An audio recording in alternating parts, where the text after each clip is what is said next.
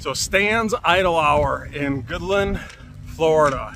Definitely a place you need to stop at if you are close to Marco Island.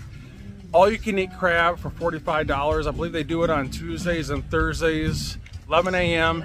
to whenever they close. I think it's 8 p.m. If you want to eat all day, you can.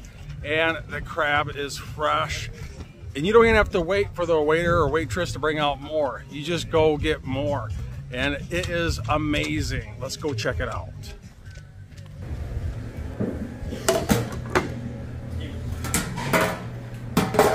Oh man, all you can eat and it's fresh.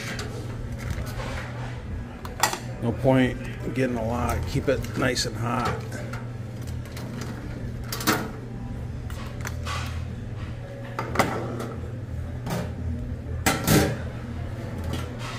All right, I'm gonna get one more.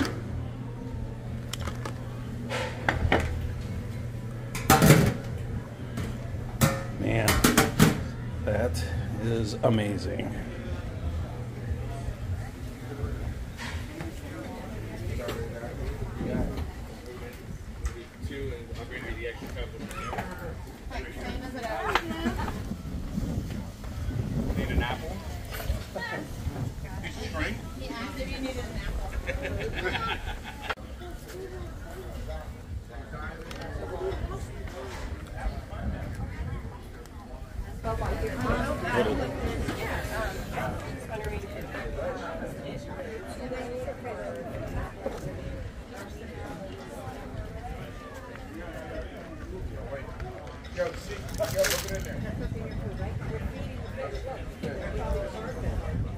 I think they eat it all day, so they're probably like, whatever.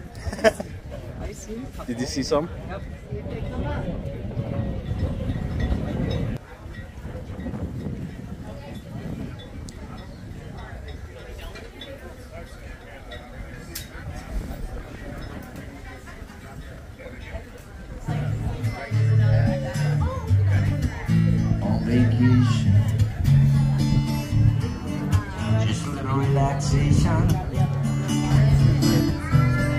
Yeah, down here it stays.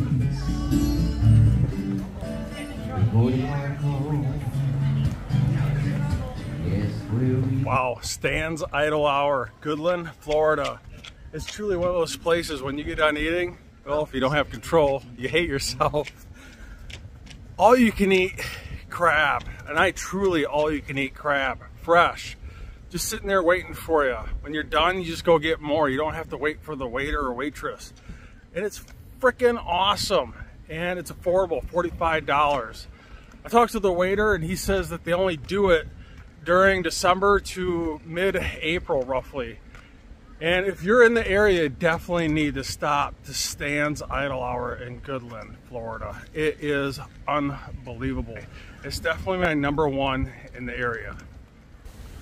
And when you're done with Stan's Idle Hour, you got to make sure you hit up the Krabby Lady for a beverage.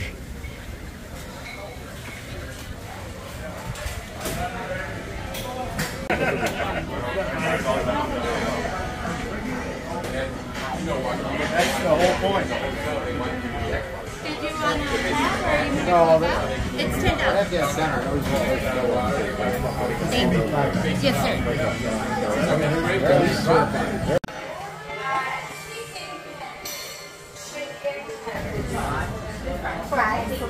Do you want like ranch or honey?